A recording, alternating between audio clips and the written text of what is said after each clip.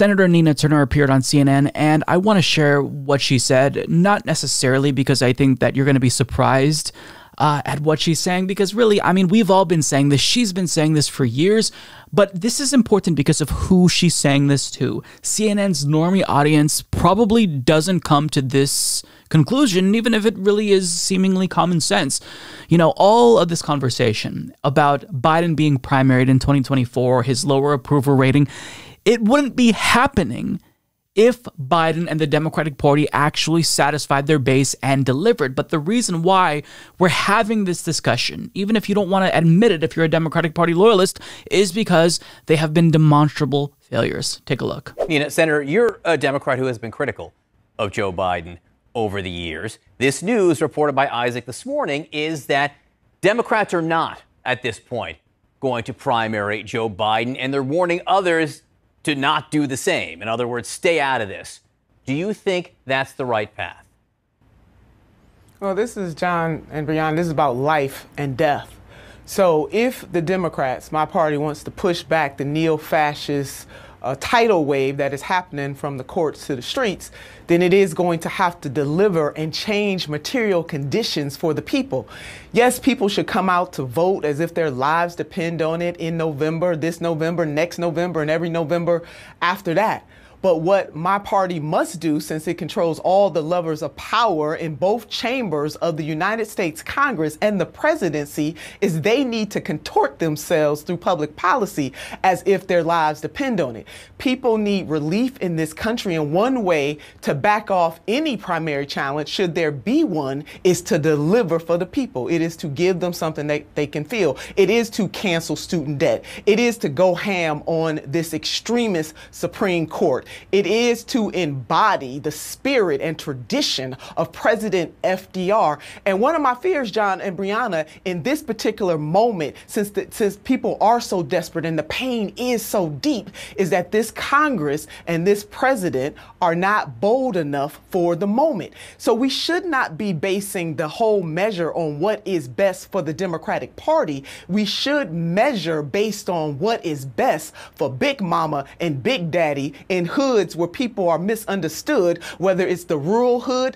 the urban hood, or the suburban hood. That is how you settle whether or not there will be a primary deliver for the people. That was great. Now there's more. I'll, I'll, play a second clip for you in a second.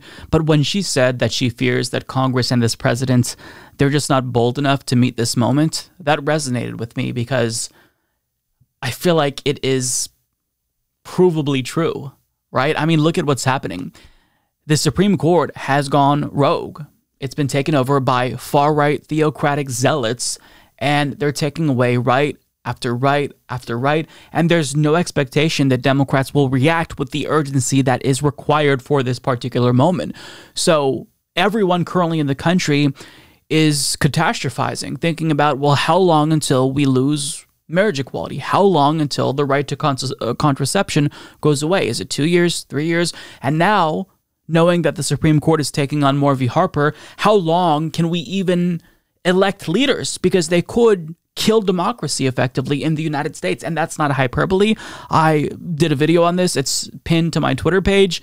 Watch it because right now, the Supreme Court poses a grave danger to democracy. And the problem is that Democrats, they're saying that Republicans are the problem, but they're not acting. If you truly believed that Republicans pose a threat to democracy, then you can't just repeat vote because you didn't pass voting rights.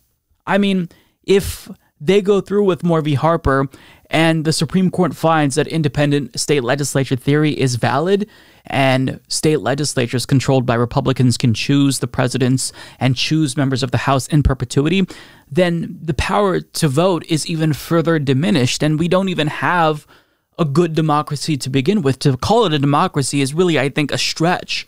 So, yes, of course, you're going to tell your voters that voting is important. But the problem with the Democratic Party is that that's their only solution. Oh, well, you want Roe codified? Vote. But they're not actually wielding the power that they have for the limited amount of time before the election. And that's a problem. And that's what Nina Turner is going to get more into in this next clip here. Let's take this to the streets. The American people don't have time for folks to sit up here and pontificate. We know exactly why those governors are dipping their toe in the water because it's just in case. So they sending a little signal that if indeed the president runs for reelection, we not go, we won't run against you, but just in case something happens, let's go ahead and tell the truth about this.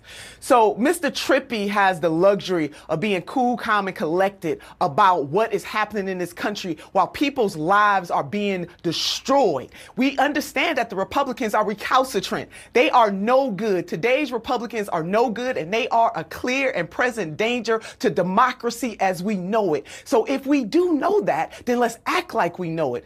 Our my party has control of the Congress and the presidency, and they should wield that power as if they have that power. They should wield it as if the neo-fascists that are trying to take over this country, starting with that Supreme Court, is a danger and use the power on behalf of the people. Don't play with it. Don't be timid with it. Use it. And one of the ways you can use it is to expand the court. The, the United States Congress, there is a bill pending to expand the court. The president is kind of ho hum on that. They should use uh, federal lands to allow abortion clinics to be there. They should ensure that throughout this country that the abortion drug is available, even in states where, the, like my state, where you can no longer get an abortion, even you know, six weeks.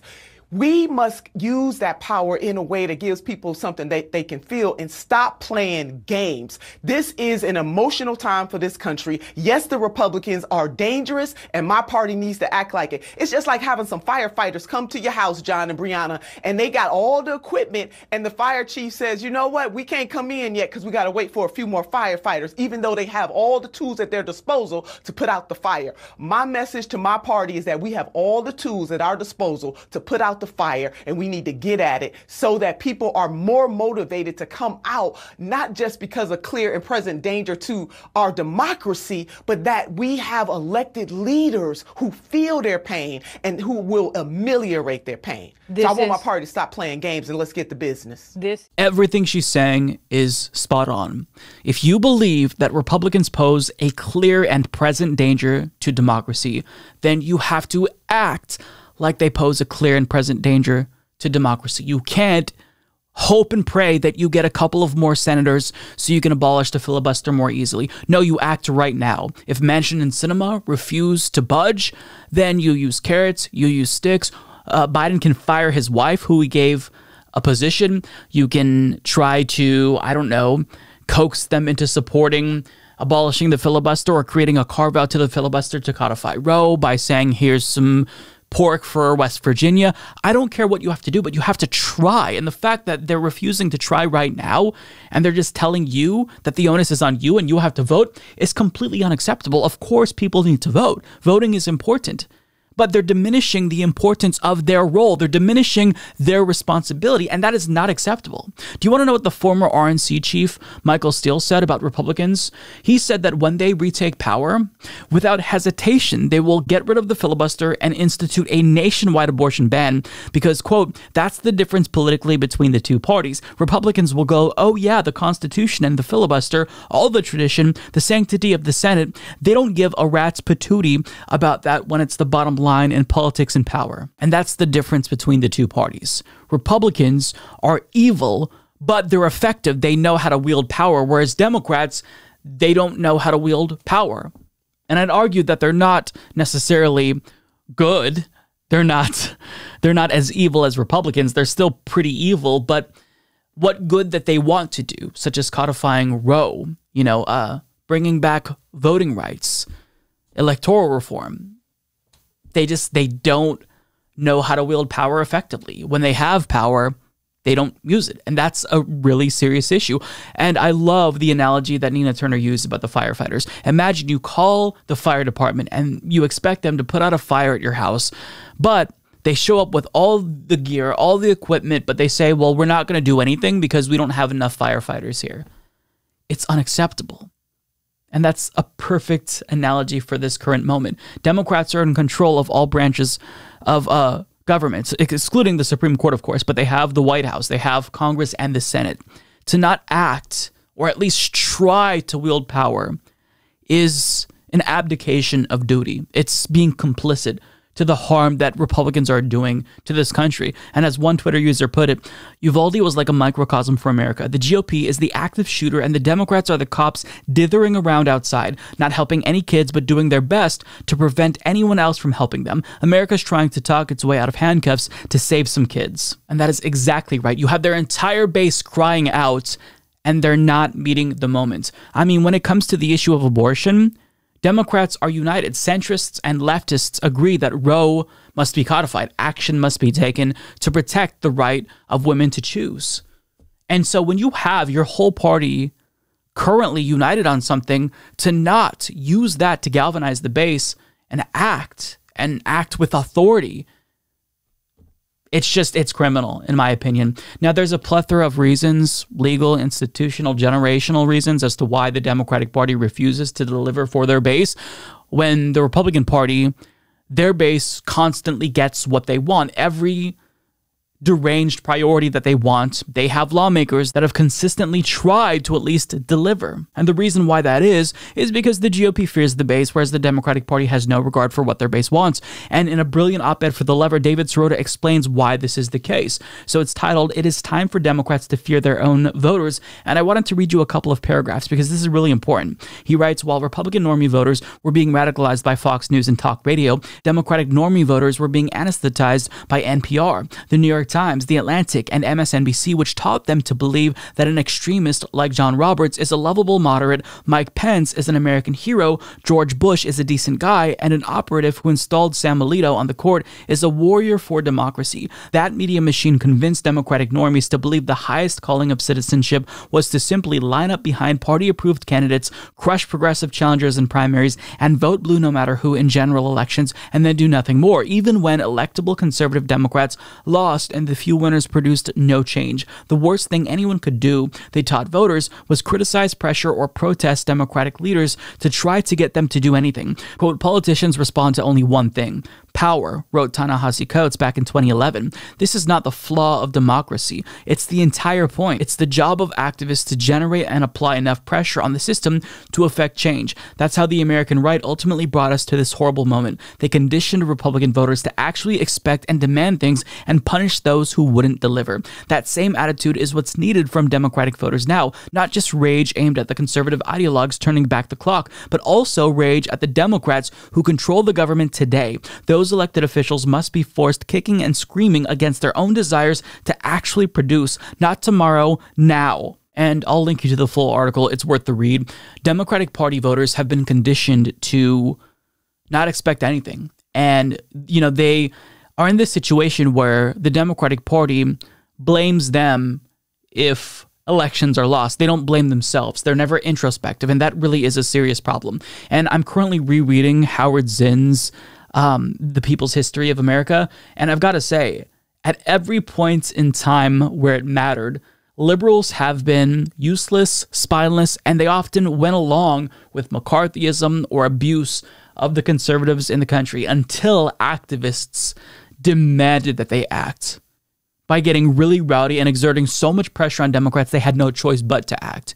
And we're at a moment where Democratic Party voters have to do the same thing. When they tell you that the solution to the threat Republicans pose to democracy is to vote, you reject that entirely. That is not the only solution. The solution is that Democrats must fight and people must make it known that they're unwilling to accept what the Democratic Party is selling them currently. We're not buying it any longer. It's time to get rowdy when they tell you, you know, don't don't be uncivilized. You reject that. Okay? It's time to make the Democratic Party fear their voters because even if there are other institutional things that make them corrupt or inept, if they fear their voters, if they fear that there will be repercussions if they don't deliver, that will at least make us better off, better suited to stave off this threat of fascism. So, yeah, I'll leave that there. Everything that Nina Turner said was perfect, and it's incumbent on us to educate normie Democrats who consume CNN and MSNBC and make them realize you can't just accept everything that the Democratic Party tells you. You can't keep punching left and blaming Bernie bros or blaming third parties. The onus is on Democrats. They have power currently, and if they fail to deliver, that's on them. And we can't let them fail. We have to force their hand. Period. End of story.